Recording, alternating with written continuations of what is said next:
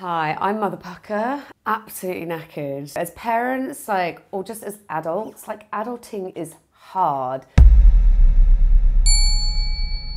Tax returns, electricity bills, school applications, just keeping them alive. That's where apps like PowerShop, the electricity supplier with an easily downloadable app. okay, it's yours. We get the message. That means you can download electricity wherever, whenever. And it makes sure that you stay on top of your bills. So at the end of the month, there's no like, uh, can we put Paw Patrol on the telly or can we put fish fingers, chips and beans on the table? May, um, I could do with a little bit of a power boost. can I have it back? She's actually quite strong. power to the mama, indeed.